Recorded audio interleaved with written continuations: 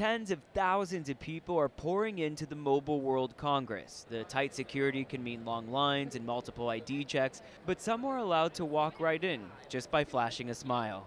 That's it. That was nice. They've opted into a facial recognition program developed by Canadian startup Mexia One. A few weeks before a conference like this one, you register and submit a photo. Then the artificial intelligence analyzes 158 points like bone structure, skin tone, your iris, and the space between your eyes. People are going through our lines and they're high, high-fiving our operators because they're so happy how fast they're going through.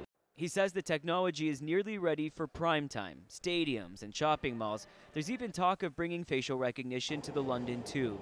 And soon it may be coming to an airport security line near you. Eventually, I see that as being in three, maybe five years, that will become the seamless traveler experience where you will not have to stop at all of those checkpoints. So I've been standing here watching people come through the lines, and I thought it was going to be the people using facial recognition that might be frustrated. I'm actually seeing more issues with people using the badges, having to scan them over and over again, and they're the ones who look more flustered.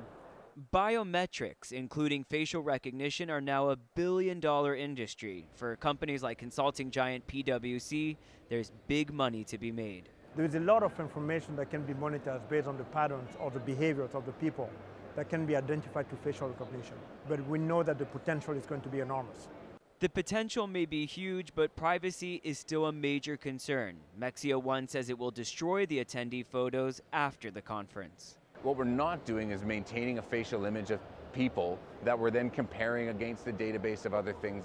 But legally, there's nothing stopping your biometrics obtained through facial recognition software from being sent to law enforcement or hungry advertisers.